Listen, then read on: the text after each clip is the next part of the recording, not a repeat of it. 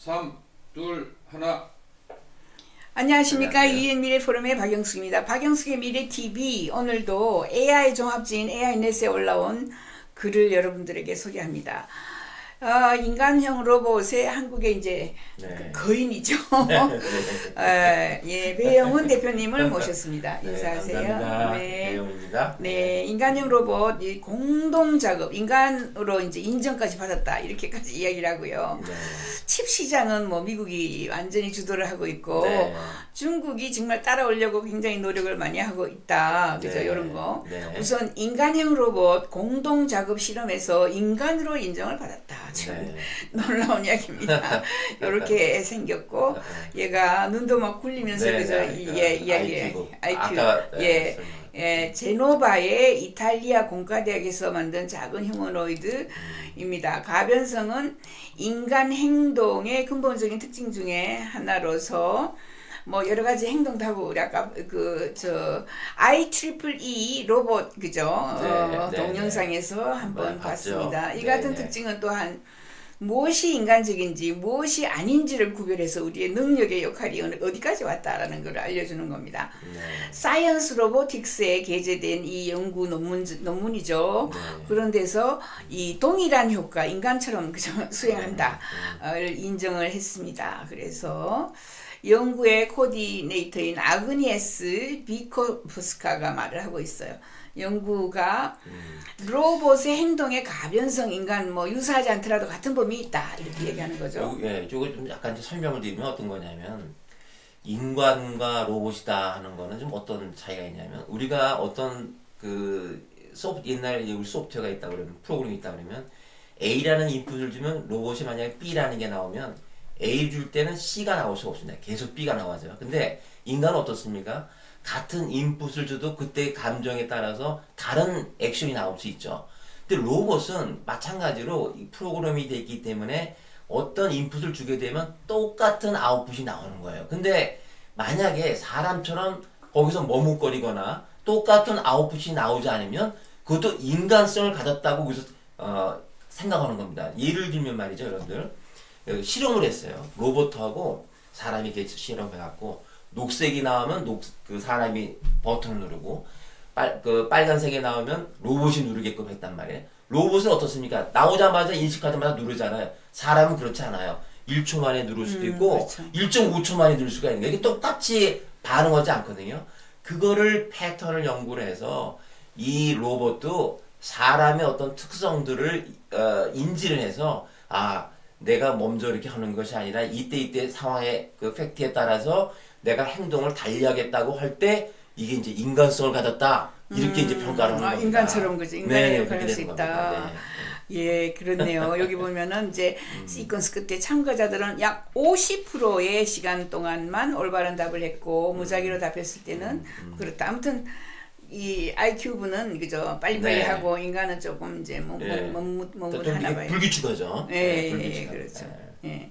그 다음 두 번째 아이템은 이제 인간 세포로 만들어진 로봇이 있습니다. 기계의 마인드에 의해서 제어가 되는 네. 이런 게 있어요. 그래서 인간 세포 이렇게 이제 뭐 세, 살아있는 세포네, 그죠? 네. 작은 실험실 연못에 로봇 가오리 가 지느러미를 펄럭이면서 헤엄칩니다. 그런데 모서리도 돌고 어디에 부딪힐 수도 있고 뭐 이렇게 디자인해서 펄럭이는 마이크 로봇보다 훨씬 더 헤엄을 잘 치더라 이런 거.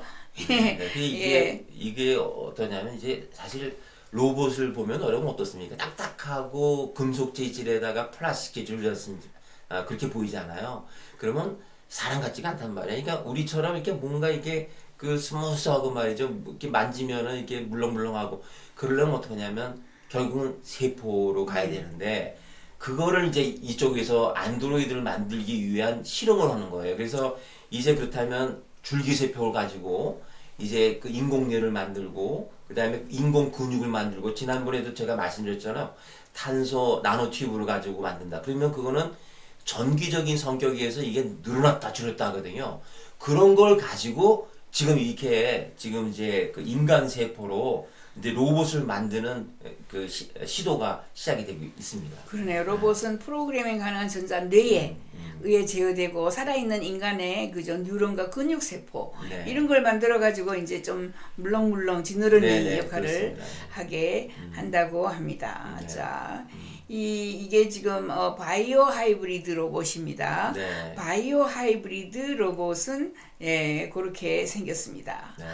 근데 이게 그 이걸 왜 자꾸 인간이 만들려고 그러냐면은 아, 우리가 보통 신체 실험 옛날 뭐 일본에서도 막그그 침략자들이 막 독일도 그렇지만 그 인체 실험을 많이 예, 했잖아요. 예, 예. 근데 이런 걸 이렇게 만들어 놓으면은 인체하고 가까운 걸 만들어면 그런 여러 가지 그 인체 시, 실험을 할 때도 굉장히 도움이 될 수가 있기 때문에 앞으로 그 인체 실험을 로봇이 대체할 수도 있기 때문에 이런 것들을 지금 하고 있고 지금 보니까 어, 근육도 만들었고요 인공육도 예. 만들었고요 그 다음에 또 전기 자극을 우리가 사실은 이제 에, 소금 같은 거를 뿌리게 되면은 막 그 지렁이가 움직이는 것처럼 삼투압 작업 같은 것처럼 이 화학 물질을 갖고도 물건을 움직일 수가 있거든요. 이제 그런 거를 가지고도 할수 있게끔 지금 막 그 연구를 지금 하고 있어서 지금은 아주 초보라고 할 수 있지만 결국은 인간이 아, 자율주행 자- 자동차처럼 지금도 갈 길은 멀지만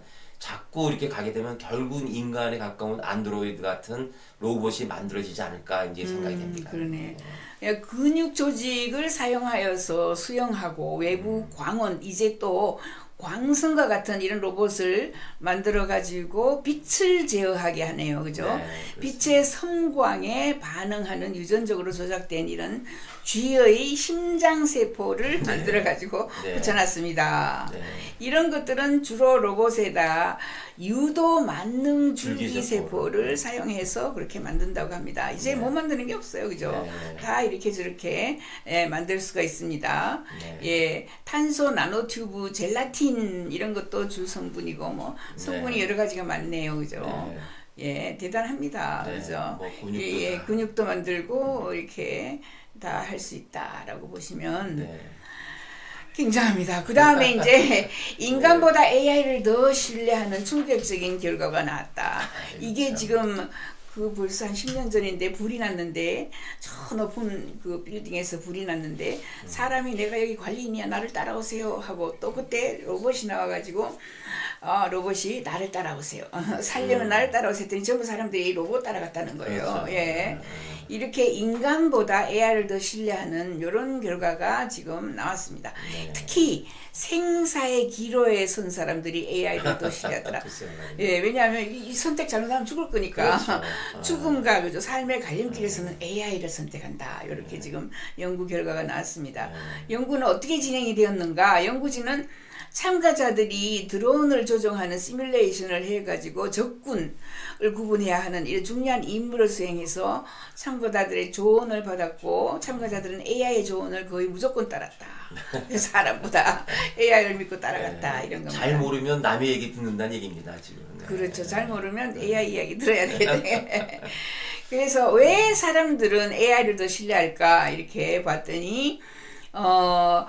이 AI에 대한 과도한 신뢰가 있어서 그죠. 사실은 참 걱정이 되긴 한다. 사회 전반에 AI가 빠르게 확산되면서 사람들은 AI가 모든 것을 해결해 줄 수 있다고 생각한다. 불확실에 대한 두려움이 있다. 그렇죠. 불확실할 때는 AI. 그죠. 네. AI 네. 이야기를 들어야 되겠다. 이렇게 생각. 연구가 시사하는 바는 무엇인가? AI를 무조건적으로 신뢰해서 안 신뢰해서는 안 된다. 네. AI가 그죠. 잘못 선택할 수도 있다라는 거고. 연구진은 이러한 문제를 해결하기 위해서 뭘 제안했는가? AI에 대한 건강한 회의주의, 그죠? 네. 한번 회의, 한번 그죠? 분석을 해보고 네. 제가 정말 맞을까? AI가 반드시 맞 무조건적으로 사람들이 따라가니까 이제 무조건 따라가지 마라 이렇게 좀 그죠? 이제 여러분들 한번 생각해 보시죠. 지금 우크라이나에서도 드론이 이제 간단 말이에요. 드론이 가면은 아, 이게 그 아군인지 적군인지를 구분해야 되거든요. 적군에다가 이제 폭탄을 떨어뜨려야 되는데 아군을 적군으로 오인을 해갖고 떨어뜨리면 안 되잖아요. 근데 지금은 이게 밤이면 사람이 잘 안 보이기 때문에 AI가 이 적군과 피하를 구분하는 것들이 지금 들어가고 있거든요. 근데 만약에 거기서 AI가 잘못 판단했다면 이건 사람의 생명이 왔다 갔다 하는 거거든요. 그러니까 그런 문제에서 우리가 어, 이 건강한 회의를 가져야 된다. 절대로 AI를 신뢰해서는 안 된다. 특히 사람이 죽고 사는 문제라든가 이런 부분에선 주의해야 된다 하는 것들을 경각심 주는 글이라고 생각이 됩니다. 예, 그래서 이 그 연구를 했고요. 콜린 홀브룩 교수는 사회적으로 AI가 너무 빠르게 발전한 가운데 우리는 과도하게 신뢰를 한다.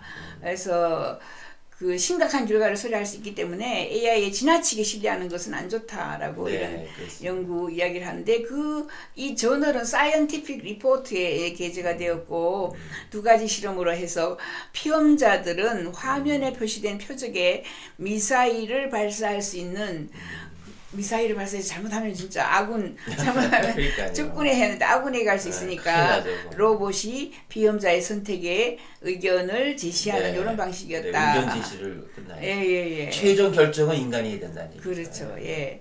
그 로봇이 비인간적으로 보일 때에 대다수의 시간 동안 마음을 바꾸어서 로봇이 무작위로 동의하면 피험자는 자신의 선택을 고수하는 경향을 보였다. 뭐 이런 이야기도 네. 있고요. 아무튼 생사에 직면한 사람들이 AI를 인간보다 더 신뢰한다라는 네. 이런 어, 보고서가 꽤 많이 나왔고 Scientific Report에 그 저널이 됐고 거기에는 우려, 그죠? 네. 어, 우려도 이제 섞여 있다. 네, 그- 근데 사실 급하면 뭐 교수님이나 저나 그럴 것 같다는 생각이 들어요. 아 그래요 그죠 진하게나 진 사람인데 그죠 네. 지가 뭘 할까 나도 여기서 10년 네. 근무했는데 나도 모르는데 막 이렇게 네. 생각할 수 있고요 AI 따라갈 것 같아요 저도 저도 글쎄요. AI 따라갈 것 같아요 로봇 네, 저도 못 같습니다. 예. 네. 그 다음 새로운 로봇 집사가 집안일을 대신한다. 우리가 지금 이걸 만들려고 하는데 음. 캘리포니아의 기업인데 위브라고 다재다능한 개인 로봇을 그죠? 네. ISSA, ISAAC를 이삭이라고. 네. 이삭 2025첫 이제 고객에게 배송될 예정이다. 그죠? 네. 예, 가지고 있는 기능은 집안 정리정돈하고 네. 세탁물 접기 그죠? 네. 세탁물 접기는 로봇이 봤어요. 네. 잘 접더라고. 이렇게 접고, 네. 이렇게 접고, 이렇게 딱 접어가지고. 이거는 이제 우리 마인드부터 해야 되는 그, 일입니다. 그 렇죠. 네. 예, 예. 그 다음에 공간 정리, 그죠? 공간에 여기저기 뭐 있으면 한꺼번에. 쓰레기도 버리고 뭐 음, 이런. 예, 예. 공간 정리하고 다양한 집안일.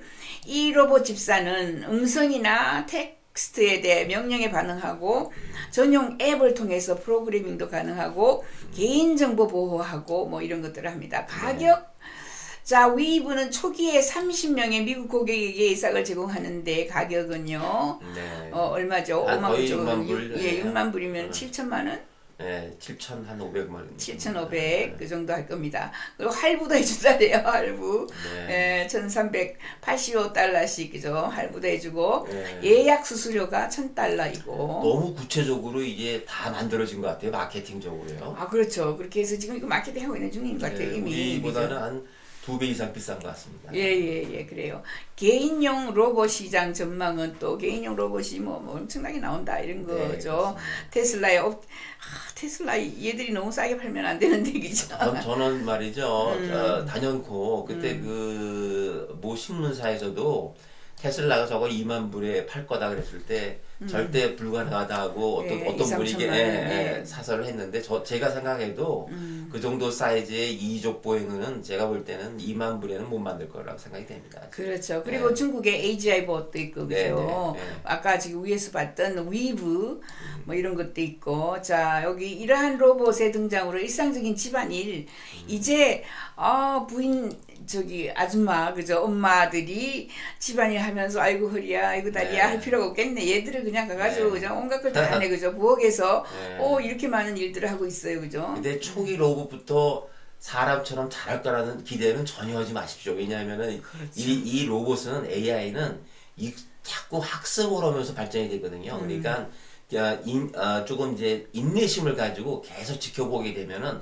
로봇이 언젠가는 마음에 들 때까지 잘할 때가 옵니다. 근데 그걸 좀 인내심을 가질 필요는 있습니다. 예, 그렇죠. 자동차 처음에 나왔을 때 뭐 가다가 끄지고 가다가 서고 가다가 처음에 아마 예, 복잡할 겁니다. 아이고 그렇죠. 그렇게 해서 지금까지 어, 100년간 이제 발달해 온 겁니다. 예, 이렇게 이제 얘는 우리가 지난번에도 한번 봤는데 저 돌아다니면서 어, 어, 아무튼 이 화면이 있으니까 그죠? 네, 대화도 네, 하고 네. 이렇게 하는 네, 네, 로봇. 얘는 청소하는데. 발을 발을 바짝 들어주네 그죠? 네. 이렇게 음. 어, 하고 있습니다. 어, 아이사크 심의 주요 기능 은 자 강화 학습을 지원하고 네. 그죠? 강화 네. 학습 해주고 네. 그다음에 현실적인 시뮬레이션을 한다. 엔비디아의 기술을 활용해서 네. 렌더링하고 현실 환경에 돌아다니면서 얘가 유사하게 네. 활동한다. 네. 인간 로봇 상호작용 시뮬레이션. 네. 이게 인간하고 항상 협력해서 같이 해야 윈윈해서 그죠 어, 시츄에이션이 올라가죠. 네. 그래서 자율 이동 로봇, 인간의 상호작용 테스트 이런 데 많이 네. 에, 전문을 하고 있고 다양한 개발 도구를 지원한다. 예. 그 여러분들 이거는 굉장히 중요한 말씀이기 때문에 제가 한마디 더 보태면은 이제 로봇을 우리가 다 만들어 놓지 않습니까? 소프트웨어도 만들어 놓고 AI도 들어가고 다 했지만은 그 다음부터는 이제 강화 학습을 해야 됩니다. 이제 사람처럼 아, 생각하고 행동하는 것들을 이제 학습을 해야 되는데 그 학습을 그 실제 현실에서 학습을 시킨다는 건 이건 너무 시간이 걸리고 돈이 많이 들어요. 그러니까 우리가 우리 그 비행기를 조종을 배울 때 시뮬레이터로 배우지 않습니까? 그죠? 예. 직접 직접 어떻게 아, 그렇죠. 비행기를 매번 합니까? 비행기 띄우다가 뭐 떨어지면 어떻게 네, 되죠? 떨어지면 안 돼. 그러니까 할 수 없이 로봇도 강화 학습을 이런 시뮬레이터로 배우는 겁니다. 그러면 그 시뮬레이터를 잘 우리가 만드는 것도 중요하지만 실제 시뮬레이터대로 되지 않지 않습니까? 그러면 현실에서 우리가 테스트해갖고 나오는 결과 시뮬레이터하고는 갭이 있기 때문에 그 갭을 맞춰주는 거죠. 그러면 그 시뮬레이터가 보다 더 현실과 가까워지는 겁니다. 그래서 어떠한 로봇을 만드는데도 이런 시뮬레이터를 제대로 만들지 않으면은 강화 학습이 잘 안 되고 강화 학습이 되지 않으면은 그만큼 사람처럼 행동하기가 어렵습니다. 이게 굉장히 중요한 거고 우리 그 마인드봇을 할 때도 아, 이 부분에 대해서 우리가 상당히 준비를 많이 하려고 생각하고 있습니다. 네, 그렇죠. 아무튼 우리는 이렇게 로봇 집사, 로봇 집사, 집안일을 대신하는 어, 마인드봇을 지금 한국에서 대량 생산하려고 하고 네. 있습니다. 그 다음 세계 최강 AI 칩은 누가 장악하고 있나? 칩은 그죠? 뭐 엔비디아 그죠? 엔비디아가 엔비디아죠. 예, 예, 네, 엔비디아인데 여기에 막 도전하는 이런 회사들이 많이 있어요. 미국의 AI 칩 시장이 어, 주도를 하고 있지만 중국이 대응하고 대제 네. 어, 나온다 이렇게 엔비디아 H 100 칩을 중심으로 AI 칩 시장을 주도를 하고 있는데 아무튼 2022년 출시 당시에 이미 칩을 수용할 수 있는 인프라를 갖추었기 때문에 굉장히 빠른 속도로 속도가 9배나 빠르다라는 점 그죠 종래 AI 모델보다 어, 빠르다라는 점 근데 중국은 미국의 수출 규제로 H100 칩을 확보하는데 어려움을 겪고 있다. 그런데 네. 상대적으로 이제 H100 대신에 뭐 여러 가지 다른 걸 하고 있고 네. 어, 이 V100, V100 칩의 경우에는 남미나 아프리카 상대로 인프라 부족 지역에서 네. 뭐 이렇게 하려고 하고 있다. 미국의 AI 칩 우위를 이제 하고 있지만 중국이 대응을 하고 있다 이런 이야기죠, 그죠? 네, 그래서 이게, 이게 사실 엔비디아가 다 칩의 뭐 시장을 90% 이상 장악하고 있는데 처음에 얘네들이 이제 V100을 만들고 A100을 만들고 H100을 만드는데 이게 그 점퍼는 그 기능의 속도가 아까도 9배가 뛰는 것처럼 어마어마하게 뛰거든요. 사실 9배가 빠른 거가 있다 그러면 누가 9배 느린 걸 쓰겠습니까? 이제 중국은 지금 현재 그런 칩을 좀 확보하기가 어려워서 그 미국에서 지금 최신 거보다는 훨씬 더 덜한 걸 쓰고 있고 아프리카는 그거보다 더 덜한 걸 쓰고 있다는 얘기를 하고 있는데 결국은 엔비디아가 엔비디아가 앞으로도 계속해서 칩 시장은 아마 컨트롤할 수 있을 것 같은 생각이 듭니다. 예, 엔비디아 그다음에 뭐 AMD도 있고 뭐 여러 군데가 지금 나오고 있긴 있어요. 여기 네. 사진의 그림을 보면은 하, AI가 칩 하나 보드에 이렇게 많은 것들이 네, 들어가네 그죠? 엄청난 것들이. 들어갑니다. 예. 네. 예, 이렇게 AI 칩을 만들고 있고 엔비디아의 칩이고 엔비디아 칩들이 AI 칩을 제어하는 사람은 누굴까요? 하고 전 세계에. 그림을 네, 그려놨네 네, 그죠? H100, H100을 쓰고 있는 데가 아, 뉴욕 선진국 그죠? 미국. 미국 인데 뉴욕 이쪽에 동부에 많이 쓰고 있네 그죠? 네, 뉴욕 네, 메서스 네, 네. MIT 뭐 이쪽에 많이 있고 서쪽에도 한 개 내지 두 개 정도 있고 그 다음에 이제 유럽이네 그죠? 네. 독일인가 보네 여기가 네. 독일 정도 네. 있고 어, 요 파란 게 그죠? H100을 쓰고 있는 데인데 여기는 없네. 한국, 일본 쪽은 없고 네.